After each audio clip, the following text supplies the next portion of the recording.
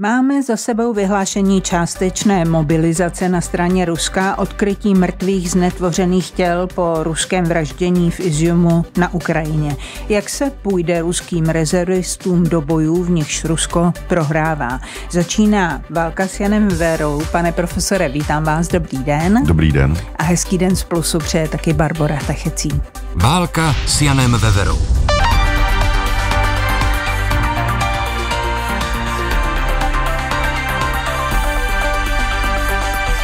Tak pane profesore, ta um, svědectví z Iziumu jsou opět děsivá, zmučená těla, odříznuté kusy těla. A já se ptám, patří tohle, co jsme viděli, nebo co jsme mohli, o čem jsme mohli číst, patří to do té vaší přihrádky, toho jsme schopni všichni? Já to říkám nerad, ale bohužel ano, protože v každém národě eh, najdeme dostatek lidí, kteří pod vlivem eh, těch vnitřních faktorů, jakým je frustrace a hněv a eh, vnějších faktorů, jakým je ta dehumanizace a mm, ztráta vnější kontroly toho dozoru, budou ochotni k takovýmto zvěrstvům. A my jsme před minutou slyšeli o pohřbu královny a vzpomeňme si jenom, že právě Kenia byla velmi kritická k eh, panovnici britské, eh, protože jí kladli alespoň symbolickou zodpovědnost za právě to mučení naprosto srovnatelné s tím, co teď vidíme v Ukrajině, kterého se Britové dopouštěli eh, při povstání Mau Mau, Mau 50. léta, desetitisíce mrtvých, opět to znásilňování. Vzpomeňme si na masové znásilňování v balkánských válkách, vzpomeňme si na Srebrenicu, takže ty naše bariéry eh, k tomu páchat takovéto násilí eh, jsou překvapivě malé. Ale přesto se musím zeptat, pane profesore, proč eh, jedni tahle zvěrstva hmm. páchají, to mučení například, hmm. protože jistě chápeme, byť je to tragické, že se vojáci zabíjejí, ale mučení civilistů to je přece jen jiná kategorie. Ty Takže já se Promiňte. Vím, já se jenom ptám, proč to někdo je schopen dělat a někdo ne. Ty příklady, které jsem říkal, byly právě úmyslně brané na vraždění civilistů, ne vojáků. A tím jsem ukazoval, eh, že toho jsou schopni velmi kultivovaní lidé. A to, co můžeme měnit a to, co je odlišné, jsou právě ty kontextuální faktory. Když se podíváme eh, na to eh, mučení eh, v Keni britskými vojáky, které bylo opravdu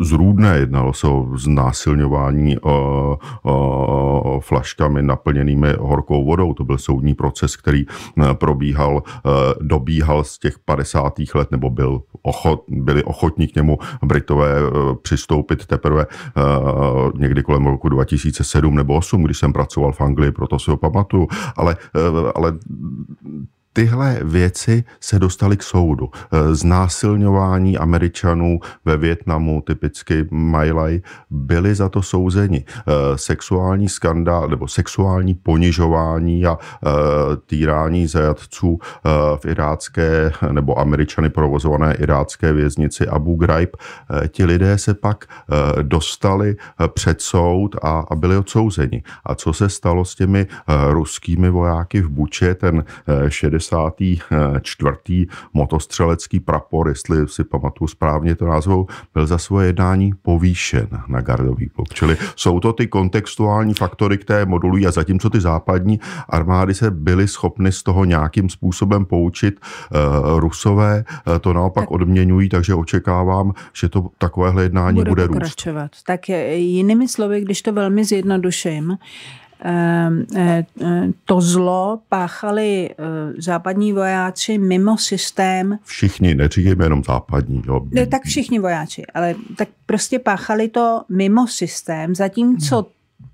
teď to, co vidíme na Rusech, mm-hmm. je to součást toho státního systému. Chápu to dobře? Ano, to jsou to ty kontextuální faktory, eh, ta, eh, které zatímco eh, na začátku jsme si ještě mohli myslet, a já jsem byl jeden z těch, kteří si to mysleli, že ta, že, že ta zvěrstva v Buče nejsou naplánovaná centrálně. Já si pořád myslím, že to nebyl plán, že by měli z Kremlu někde nějakou instrukci, že tam 100 lidí ne, ale když se to stalo, ale když bylo se to oceněno. Ale, ale, ale v tom je ten rozdíl. Hmm, no Bylo to oceněno hmm. a, a je to jasný hmm. návod, který hmm. nám nedává hmm. příliš důvodu k optimismu. Ehm, ten ukrajinský gubernátor eh, Charkovské oblasti řekl, že mezi těmi zabitými zmučenými těly byly také eh, těla dětská. Eh, to taky znáte pa- něco podobného nebo paralelu k tomu v dřívějších dekádách ze strany? Myslím, že ji znají všichni posluchači a necháme teď uh, uh, stranou, anebo nemusíme, druhá světová válka, samozřejmě vraždění dětí v holokaustu. Velmi zajímavý vhled do té psychologie. Ono, Děti eh, jsou samozřejmě částečně chráněny proti, eh, proti agresi všemi eh, těmi rysy, které jsou typicky, typická pro všechna mláďata, ty velké oči, velká hlava, plné rty, malý obličej, malé tělo, ty všechny nás za standardních okolností rozněžňují. Hezky o tom psal Stefan Gold ve své knižce Pandin palec a hezky to můžeme vidět na vývoji třeba těch postaviček Walta Disneyho. Když vidíme, jak vypadal myšák Mickey, tak on se tak vyvíjel, aby byl pořád rostomilejší a rostomilejší. Původně ta myš měla mnohem delší čumák. A když se koukneme, jak šla a tohle jsou rysy, které jsou, my jsme evolučně vybaveni k tomu, aby ty nás rozněžňovaly. No a pozor, jakmile eh, začne válka, ta dehumanizace, tak my se najednou i na ty děti eh, přestáváme dívat jako na lidské bytosti a větší soucit eh, máme například s koňmi. No, a hezky to dokumentoval a dovolte, abych to, uh, přiznám, uh, to ještě dokončil. Uh, tohle byl uh, významné knihy uh, německého uh, sociálního psychologa, uh, jehož jméno mi teď vypadlo, ale uh, já si na ně, ano, uh, Harald Welzer, uh, slavná kniha Vojáci o zabíjení a vraždění, dál napsal pak klimatické války a tenhle Welzer uh, publikoval knihu, která byla postavená na tajně nahraných eh, diskuzích německých válečných zajatců. On se k ním dostal, eh, analyzoval ty jejich rozhovory, které oni vedli eh, v soukromí a co ho fascinovalo, bylo právě tohle. O tom, když ty letci útočili třeba na, dětské konvoje lodní, tak o tom hovořili jako o děsné srandě. A co je skutečně šokovalo mnohem víc, bylo eh, řev těch koní. Jo? A mě to nepřekvapuje, tváří v tvář tomu to, co jsme říkali o dehumanizaci. Oni, ty děti už byly níž než zvířata. Eh, vy jste nicméně použil tu přímou úměru k holokaustu mm-hmm. na mhm. začátku. Já si myslím, že eh, tohle není úplně v tom srovnání fair, protože holokaust byla taková zrůdnost, která mm. nemá prostě eh, v historii lidských bytostí vůbec žádnou paralelu. Ale teď z pohledu toho diváka, ať plní, eh, toho vojáka, ať plní jakékoliv úkoly. Možná, že Rwandiané tam... by s námi nesouhlasili, jenom si tak řekneme. Jenom prostě máme civilizovaného vojáka v mhm. uniformě a e, zabije děti. E, je to opravdu i v 21. století něco, nad čím bychom se vlastně ani tak moc neměli pozastavovat? Pozastavovat se nad tím musíme, ale e, nemělo by nás to úplně překvapovat. To, co jsme si tady říkali hmm. v těch předchozích e, pořadech, byly a zopakujeme to znova, žádná z těch e, vyvražďování ve 20. století, a nebyli to jenom Němci. Češi vraždili po druhé světové válce také německé děti, když tu míru nechci srovnávat, ale jde jenom o ty, o ty zábrany, které máme, že jsou překvapivě nízké nízké a my je můžeme těmi vnějšími tlaky modero, eh, nějakým způsobem moderovat a buď je stupňovat nebo snižovat. Západní armády je snižují, eh, rusové, eh, západní armády ty, ty, ten dozor zvyšují, Rusové nebo Putinovci, řekněme, nechci používat slova Rusové, protože je tam spoustu hrdinů. Včera jsme jich viděli 500, kteří pod hmm. rizikem smrti demonstrovali a to byli také Rusové, takže řekněme Putinovci. Uh, uh, Putinovci je snižují. Eh, pane profesore, patří k tomu zvyšování naopak, patří k tomu třeba i takové projevy televizních moderátorů. Ptám se proto, že když byly odkryt, odkryta, byla odkryta ta zmučená těla, Iziumu, tak ruský válečný korespondent tatarský během vysílání televize Russia Today, jak jsem se dočetla, já ho neviděla, řekl, ano, takový jsme, bojte se nás, ukážeme vám ještě víc, jen ať se nás bojí.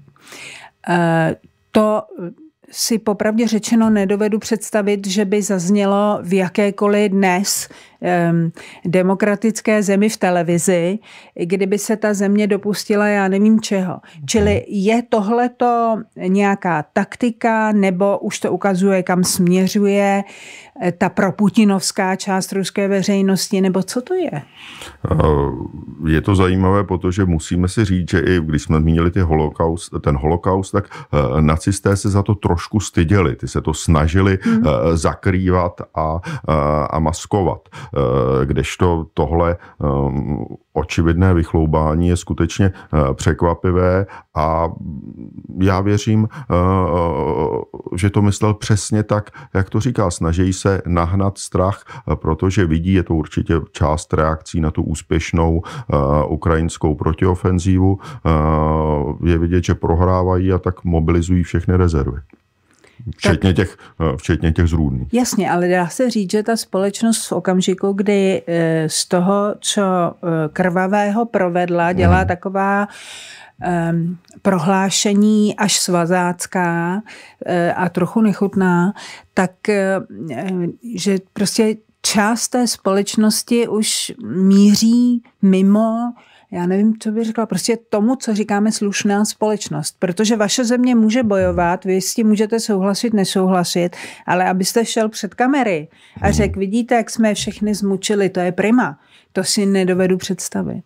Jo? Uh, já si to eh, na úrovni toho eh, jednotlivého individua bohužel představit eh, dokážu a nechám stranou ty sociologické aspekty, které vy jste zmiňovala, protože to už je mimo můj obor, ale to, že ti lidé jsou na svou práci hrdí, to jsme bohužel viděli i u výsle, i při nacistických, v nacistických koncentračních táborech a viděli jsme to i u eh, mých předchůdců personálu psychiatrických eh, léčeben, eh, které se na začátku druhé světové války a těsně před ní z ústavu, kde se lidi léčili, přeměnili v ústavy, kde se psychicky nemocní vraždili. To se málo ví, ale my jsme se tady o tom možná hmm. na začátku zmiňovali, že ty, to první hromadné vyvražďování se týkalo psychiatrických pacientů a ti lidé,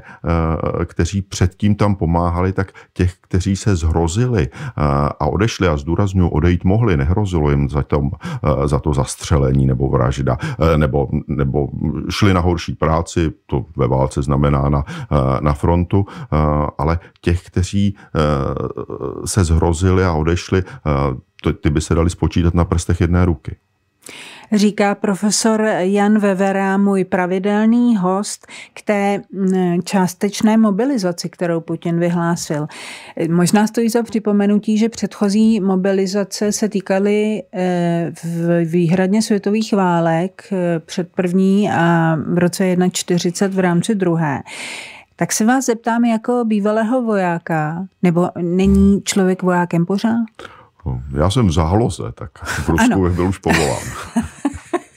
tak eh, pohledem vojáka v záloze se ptáme, jestli eh, eh, právě v kontextu toho, kde se dřív mobilizace aplikovala mm. na mhm. Rusko, tak překvapilo nebo nepřekvapilo vás, že na tu v úvozovkách speciální operaci na Ukrajině se koná. Tak jak kdy? Před měsícem by mě to překvapilo, abych si nehrál na moudrého a teď, řekněme, od našeho posledního rozhovoru před 14 dny, když už ta ofenzíva začala uh, být velmi úspěšná, tak od toho, od toho rozhovoru jsem to v podstatě čekal každý den.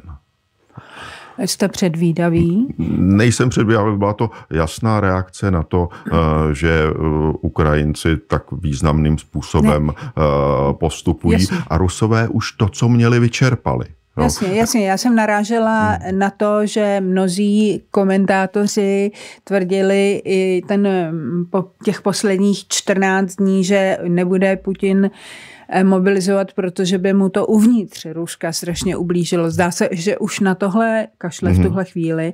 A já se ptám, teď, když se, když si, když se eh, když si představíte, že ti ruští rezervisté jdou do bojů, o kterých hmm. už téměř každý musí vidět, že se nevedou, hmm. tak jak se jim jde? Určitě mnohem hůř eh, než těm, než těm eh, ukrajinským eh, vojákům v záloze při mobilizaci, protože když si vzpomeneme, co se dělo při mobilizaci, a já nepochybuju, že pár Ukrajinců se taky snažilo utéct, ale ten masový proud byl na druhou stranu. Od nás z Česka ti Ukrajinci odcházeli dobrovolně narukovat masově, mnohem jednodušší by pro ně Eh, bylo tady zůstat. Na, eh, v Rusku vidíme zcela opačný trend. Eh, letenky, jak jsem se včera dozvěděl ve zprávách, do, do Dubaje stojí čtvrt milionu. Tak to jsou opravdu závratné částky, které nejlíp, jak si to my pamatujeme ještě z dob socialismu, hlasuje se nohama, takže tady ti lidé vyjadřují svůj názor. Čili představa, že by tihle rezervisté až dorazí kamkoliv na hmm. ruskou frontu, takže by mohli zvednout morálku a zlepšit psychický stav těch vojáků, kteří jsou tam už půl roku. To padá nebo nepadá v úvahu? Určitě to eh, je možnost, protože jsou to posily, ať už i když nejsou vnitřně tak, tak motivovaní, ale když dostanete posilu, tak to každého vojáka eh, posílí. Takže určitě to nějaký vliv eh, pozitivní na morálku těch vojáků, kteří už teď ustupují ustupují, mít bude. Tak když ustupujete a někdo Těch, vám co čerstvě přicházejí těžko. Uh, oni ty čerstvě přicházející nejsou úplně neskušení, aby jsme se řekli, protože první se to týká těch uh, vzdělanějších a chytřejších uh, ve smyslu toho, že to jsou důstojníci a, a vzdělaní a mimochodem taky starší lidé. Jeden z těch důvodů, proč my máme třeba z těch našich válek v zálivu podstatně méně PTSD, posttraumatické stresové poruchy, o které jsme tu minule hovořili, než třeba američani, je proto, že naši vojáci už tam jdou jako starší a zkušenější, to znamená, že ta část z nich, která by třeba měla v sobě nějaké dispozice eh, k psychickým poruchám, už se projevila, ta armáda uh, už tam přichází, říká se tomu healthy soldier effect, jako zdravější vojáci. Takže tady to už jsou taky lidi, kteří hmm. Už jim bude 30, 40, ale i 50 u těch vyšších důstojníků, takže už to jsou lidi, kteří jsou e, nějakým způsobem tím životem ošlehaní a, a, a, a zocelení a mají za sebou nějaký výcvik. A na Ukrajincích zase vidíme, že ten výcvik se dá docela e, rychle dohnat. Během několika týdnů, viděli jsme to při mobilizaci Ukrajinců v Rusku, takže já bych tu sílu, kterou představují, nepodceňoval. Neříkám, že jejich morálka je velká, ale uh, určitě, určitě to těm uh, Rusům bohužel pomůže. Hmm. My se ještě k tomu, co se děje na frontě, hmm. dostaneme, ale ještě mě zajímá jedna věc kolem Putina. Jestliže hm, Putin v tom svém projevu obvinil Západ z jaderného hmm. vydírání, tak mě zajímá, není nějaký moment, eh, eh, kdy takový vůdce eh, už kromě všech, které chceš manipulovat, zmanipuluje sám sebe a začne tomu věřit? Eh, určitě ano a ten moment eh, je úplně na začátku. On tomu věří už v tom okamžiku, eh, kdy to říká. A my jsme se bavili o nějakých rysech osobnosti a některé z těch psychopatických rysů osobnosti, které pan Putin určitě má, jsou právě z hlediska psychiatrie docela dobré, protože jsou ochranou proti úzkosti. To je něco, co psychopati nemají mají eh, pochyby o sobě navzdory opakovaným selháním. Jo? To, takže ten moment, že o sobě nepochybuje, ten je tam od začátku a nebude po, o sobě pochybovat až do té nejúplně poslednější chvilce. Takže to, že by tu válku mohli změnit třeba ty ztráty na civilistech a to mučení, které vidíme a kterému budeme třeba zprostředkovávat pomocí světových médií, tahle, ilu, tahle představa je zcela iluzorní. To je tomu člověku úplně jedno. Takže opravdu Putin podle vás v tuto chvíli věří tomu, že Západ ho jaderně, eh, jaderně vydírá, Přestože to byl právě on, kdo jako první řekl, že dává ruské jaderné zbraně do vyššího stupně pohotovosti. A věří tomu už dlouho a my jsme udělali tu chybu, eh, že jsme mu nevěřili a podceňovali, ale on přece pořád říká, eh, že ho Západ ohrožuje a Ukrajinu napadl proto, aby se bránil před námi, před Západem a my bychom neměli dělat tu chybu, eh, kterou udělali západní mocnosti a, a podcenit ty hrozby. Takže věřme, že on to, co říká, opravdu myslí vážně a opravdu si myslí, že Ukrajinci neexistují existují, že Západ je hrozbou a že uh, se bude uh, velmi intenzivně bránit. Takže v tuto chvíli já vím, že nejste um, um, válečný expert hmm. přímo, ale v momentu, když proti vám stojí, a myslím teď proti demokratickému světu vůdce, který říká lži, kterým věří, tak neexistuje proti tomu obrana, než ho totálně porazit. Je to tak? Já nemyslím, že ho musíte totálně porazit, ale musíte ho porazit a odkázat do uh, určitých mezí. A uh, to se povedlo. Mm, třeba u Sadáma Husajna uh, se to v té první válce docela dobře povedlo. Sadáma Husajna jsme odkázali do určitých mezí. To, že ta válka pak pokračovala, už byla jiná a mnohem složitější situace a podle mého názoru chyba západu. Ale, ale jsou to lidi, kteří reagují na sílu e, nemusí ta síla být demonstrovaná úplně e, tím totálním zničením a porážkou, ale jasným odhodláním a nastavením hranic, které řekneme, e, tudy už ne. A vidíme, že i v Čechách eh, v relativním bezpečí tady zaznívaly hlasy, které říkali, eh, že Ukrajině nemáme dodávat zbraně, protože tím posilujeme eh, válku a zvyšujeme počty mrtvých lidí a že kdybychom tam zbraně nedodávali, tak oni už by se nějak dohodli, Putin by si něco vzal, něco by možná nechal. Já si myslím, že ne, protože, jak už jsem říkal, musíme ho brát vážně. On tvrdí, že Ukrajinci neexistují a tím by se jenom jeho apetit posílil. Ale tím, že mu dáme nějakou eh, jasnou hranici a to znamená, že teď musíme posílit to naše eh, vojenské i, i, i všestranně jiné eh, zásobování Ukrajiny. To je jasný vzkaz, kterému bude rozumět. Dobře, ale když máte proti sobě psychopata tohoto typu, který, hmm.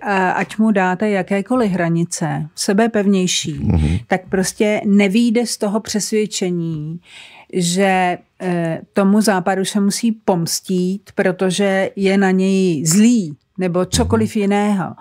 Tak eh, si moc nepomůžete, když ho neporazíte a jenom mu dáte ty vaše pevné hranice já s vámi v tomhle nesouhlasím. Já si myslím, eh, že mu v tom pomůžeme a je to mimochodem i eh, cílem eh, naší terapie, kterou nedělám úplně já, ale třeba můj spolupracovník, hlavní psycholog vězeňské služby eh, České republiky, který pracuje právě s těmi násilnými eh, psychopaty a změnit strukturu jeho osobnosti. Eh, není, já jsem ho nepojmenoval, jmenuje se pan doktor Vašek Jiřička a změnit strukturu osobnosti psychopata není v možnostech Vaška Jiřičky ani jeho několika spolupracovníků, kteří ve věznicích ten program dělají, ale právě je možné naučit je nějak nějakým bariérám a, a nějakým uh, dát jim prostě nějaké, nějaké hranice. To jsou případy, které, to jsou možnosti, které existují a fungují i v našich věznicích. Pane profesore, už jste zmínil tu uh, úspěšnou protiofenzivu Ukrajinců mm-hmm. z těch posledních dvou, tří týdnů. A já se ptám, uh, myslíte, že došlo v té souvislosti k nějakému zlomu nebo výraznějšímu skoku v té psychické kondici obou těch stran? No, nepochybně. Tak uh, Ukrajinci, kteří uh, přece jenom ustupovali a ustupovali od začátku, když ustupovali velmi efektivně a, a, a odvážně, ale nedá se nic dělat, byl to ústup těmi vnějšími, tak teď se konečně, uh, konečně nadechli a osvobozují uh, svoje pozice. Takže je to velká vzpruha pro uh, morálku uh, Ukrajinců a je to jistě uh, velké mínus pro uh, tu bojovou odhodlanost Rusů. Profesor Jan Vevera, šéf psychiatrické kliniky Lékařské fakulty v Plzni, účastník vojenských misí, byl mým pravidelným hostem. Moc vám za to děkuji a těším se na příště. Já také hezký den. A od mikrofonu Českého rozhlasu Plus vám hezký den přeje Barbara Tachecí.